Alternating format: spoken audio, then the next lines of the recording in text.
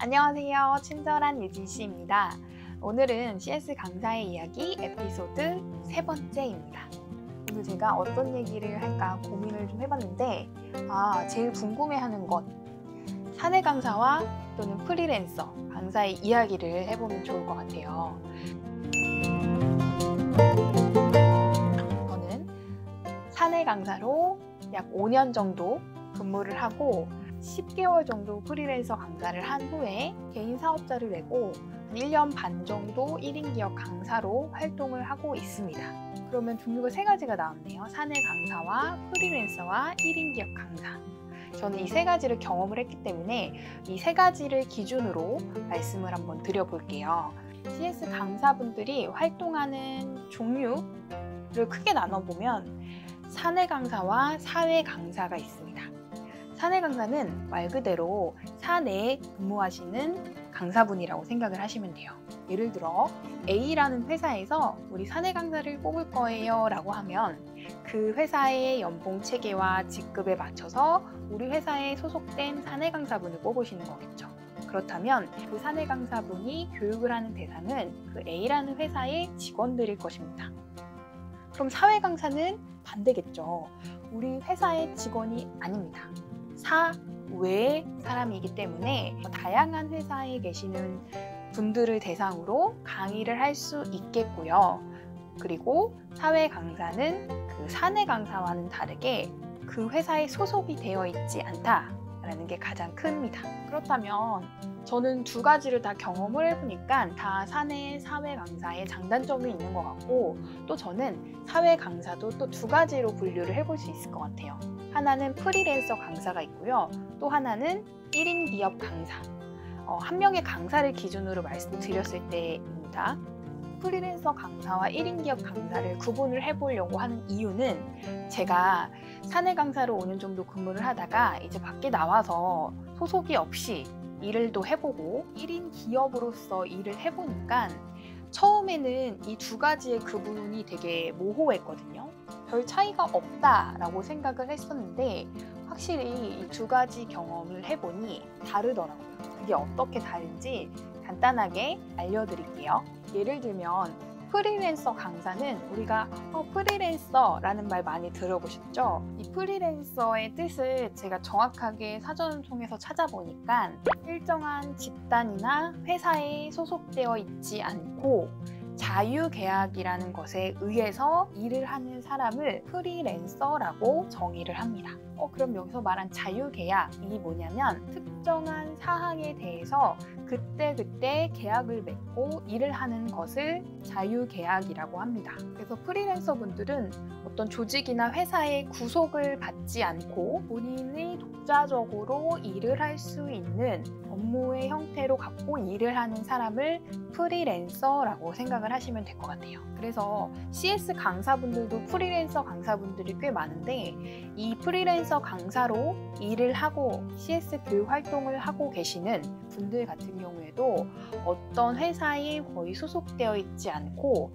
소속이 되었다 하더라도 파트너 강사의 개념으로 그때그때 계약을 통해서 특정 사항과 또는 그 기간과 그 프로젝트에 맞춰서 일을 하는 강사분 들이라고 생각을 하시면 될 것 같아요. 저도 프리랜서로 강사로 한 10개월 정도 일을 했었는데 그때 저도 그 회사의 소속으로 계약을 했지만 프로젝트가 시작될 때부터 끝날 때까지 교육에 대한 계약을 했던 경험이 있습니다. 그때는 이제 프리랜서였고 제가 1인 기업과 프리랜서의 차이를 두는 이유 가장 큰 차이점은 세금적인 부분만 제가 간단하게만 말씀드릴게요. 우리가 회사에 있을 때 여러분들이 그 이제 급여 명세표라던가 이런 거를 보시면 아시겠지만 원천 징수라는 걸 합니다. 원천 징수가 정확하게 뜻을 찾아보니까 이렇게 나와 있어요. 사업자가 종업원 등, 즉 직원 등 소득자에게 급여, 사업소득, 기타 소득 등의 각종 소득을 지급할 때 소득자가 납부하여야 할 세금을 미리 징수해서 국가에 대신 납부하는 걸 원천 징수라고 얘기를 합니다. 그럼 사내에 계시는 분들은 이제 사업 사업주를 통해서 이제 원천 징수 세금을 납부를 하고 있는데 프리랜서 강사의 경우에도 예를 들어서 A라는 회사에서 프리랜서 강사에게 교육을 의뢰를 했어요. 그럼 시간당 뭐 50만 원의 금액의 강의를 했다. 그러면 2시간을 금액을 했으면 이제 100만 원을 지급을 해야 되잖아요. 그런데 어, 이 프리랜서 강사도 이제 원천징수라는 걸 해야겠죠. 그때 이 A라는 회사가 그럼 우리가 너의 원천징수를 대신해 줄게 라는 의미로 3.3% 세금을 제하고 100만 원의 6.6%를 제하고 나머지 금액을 이렇게 지급하는 방식으로 프리랜서 강사들은 이렇게 활동을 하고 있습니다. 어, 1인 기업으로 활동하고 계시는 분들은 기업이잖아요. 기업이 되려면 나라에다가 기업을 만들겠습니다. 라는 의미로 사업자 등록을 하게 되어 있습니다. 그럼 사업자 등록하면 사업자 등록 번호가 나오겠죠.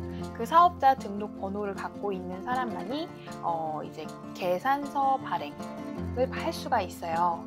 그렇다면 A라는 회사가 1인 기업으로 활동하고 있는 강사에게 CS 교육을 의뢰를 했어요. 시간당 50만 원으로 동일합니다. 그렇다면 계산서 발행을 해주세요 라고 의뢰를 할 수가 있겠죠. 계산서라는 건 우리 교육했습니다에 대한 증명할 수 있는 영수증이라고 생각을 하시면 될 것 같아요. 그래서 계산서 발행을 해달라 그러면 그 1인 기업가는 10%의 부가세를 나라에다가 세금으로 내야 됩니다. 그렇기 때문에 계산서 발행을 할 수 있는 1인 기업가에게는 계산서 발행을 받고 100만 원 플러스 10%의 110만 원이라는 금액을 이 1인 기업가 강사에게 지급을 하게끔 되어 있습니다.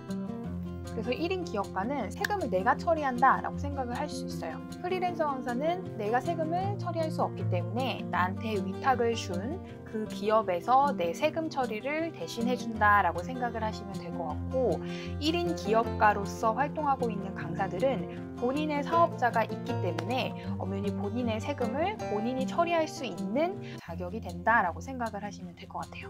사실 저도 세금에 대한 거를 프리랜서와 1인 기업의 그런 차이를 알게 되면서 많이 좀 배우고 있지만 완벽하게는 모를 수 있어요. 하지만 저도 어, 앞으로 이 CS 강사에 대한 이 세무나 회계 이런 것들이 저도 많이 공부를 해서 앞으로 좀 더 자세하게 알려드리면 좋을 것 같다는 생각이 드네요.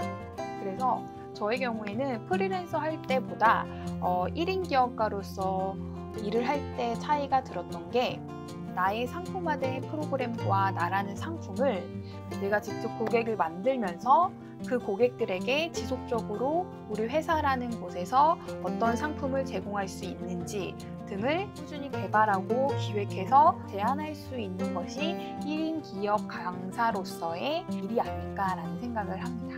다만 프리랜서가 뭐가 좋다 또는 1인 기업 강사가 더 좋다 라는 거는 사실 좀 없을 것 같고 어떤 업종과 어떤 업무 또는 어떤 전문성을 가지고 일을 하느냐에 따라서 프리랜서가 더 적합할 수도 있고요 또는 기업의 형태가 더 적합할 수 있을 것 같아요 꼭 CS 강사가 아니더라도 여러분들이 하고 계시는 그 업무에 대해서 어떤 게 더 적합한지를 고려하시고 나서 결정을 하시면 될 것 같습니다.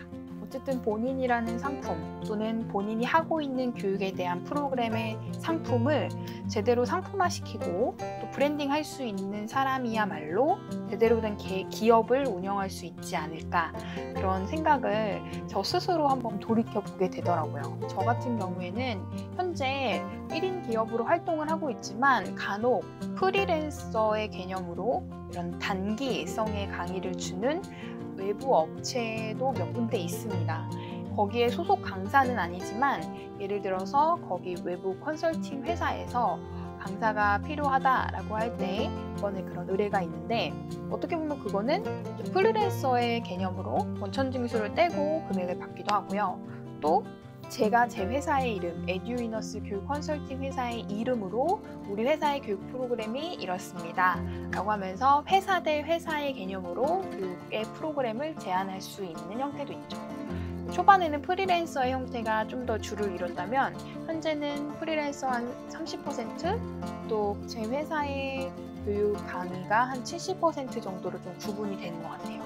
아마 점점 저도 하나의 기업의 형태를 이루고자 구성원들과 함께 다양한 사업 구조를 만들 수 있는 기업이 돼야 되지 않을까라는 그런 개인적인 목표를 가지고 일을 하고 있습니다.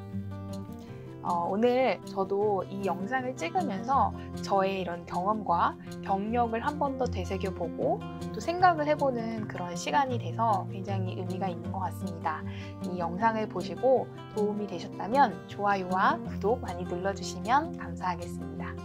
안녕!